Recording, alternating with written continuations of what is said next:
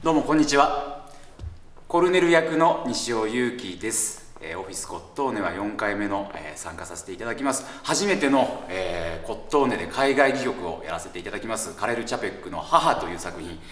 演出は文学座の稲葉さんという、あのーたくさん海外戯曲を演出されてる演出家さんで日々あの稽古場も本当に演劇的な実験に満ちたトライしてはエラーをしてトライしてはエラーをしてとあんまりエラーが込まないように頑張りたいと思います、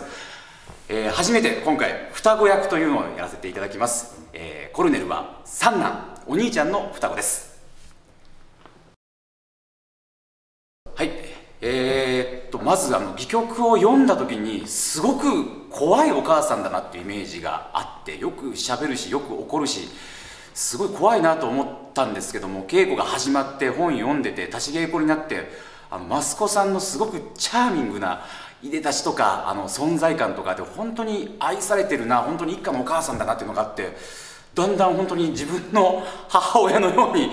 感じてきています。これは本当に不思議だなと思って本読んでるだけでは分からなかったことで本当に素敵なお母さんで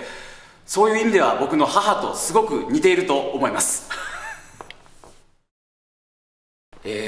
とすごく、えー世の中大変な時期ではありますけども、えっと、ちょっとさっきも述べさせていただきました稲葉さんの本当に演劇的な実験とか遊び心が溢れていて本当に劇場にで見ないと劇場に来ないと本当に体験できない空間になってるだろうなと思います。本当にそこに立ててるのもすごく幸せなことですし本当に一人でも多くの方にこのカレル・チャペックの母という作品見ていただきたいと思います。劇場でお待ちしています。どうぞよろしくお願いします。